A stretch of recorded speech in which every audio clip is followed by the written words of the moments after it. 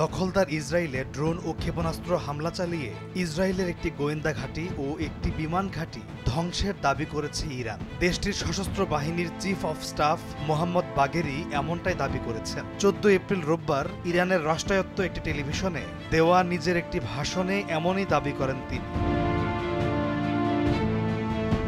ইরানি কনসুলেটে ইসরায়েলের হামলায় ইরানের বিপ্লবী গার্ড বাহিনীর দুই শীর্ষ কমান্ডার সহ এগারো জন নিহত হওয়ার পর এর প্রতিশোধ নেওয়ার ঘোষণা দেয় তেহরা সেই ঘোষণার সূত্র ধরে গেল শনিবার রাতে অপারেশন ট্রুথফুল প্রমিজের আওতায় ইসরায়েলে হামলা চালায় ইরান। পাঁচ ঘণ্টা ধরে চলা সেই হামলায় তিন শতাধিক ড্রোন ও ক্ষেপণাস্ত্র ব্যবহার করেছে তেহরান।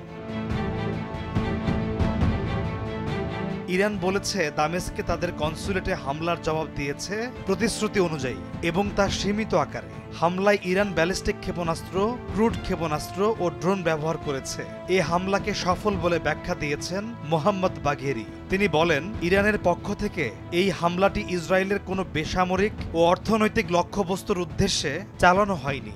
শুধুমাত্র সামরিক স্থাপনাগুলোকে লক্ষ্য করা হয়েছে। বিশেষ করে হেরমন পর্বতে ইসরায়েলের একটি গোয়েন্দা ঘাঁটিতে হামলাটি চালানো হয়েছে। দামেস্কের ইরানি কনসুলেটে হামলায় ওই ঘাঁটি জড়িত।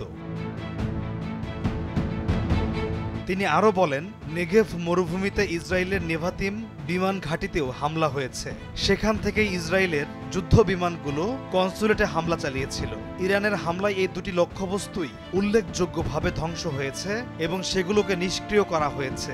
এমনটাই জানিয়ে এই সেনা কর্মকর্তা বলেন, যে হামলা চালানো হয়েছে, তার চেয়ে আরও দশ গুণ শক্তিশালী হামলা চালাতে সক্ষম ইরান।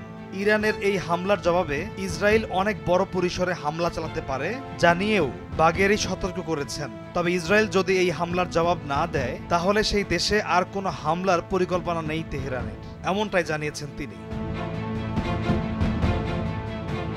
গেল এক এপ্রিল সিরিয়ার রাজধানী দামেস্কে অবস্থিত ইরানি কনসুলেটে ভয়াবহ ক্ষেপণাস্ত্র হামলা চালায় ইসরায়েল। এতে ইরানি বিপ্লবী গার্ডের দুই কমান্ডার সহ সাত উচ্চপদস্থ কর্মকর্তা নিহত হন। সে হামলার জবাবেই তেরো এপ্রিল রাতে ইসরায়েলের ভূখণ্ড লক্ষ্য করে কয়েক ডজন ড্রোন ও ক্ষেপণাস্ত্র নিক্ষেপ করে ইরান। তাদের সঙ্গে হামলায় যোগ দেয় ইয়েমেনের ইরানপন্থী সশস্ত্র গোষ্ঠী হুথি।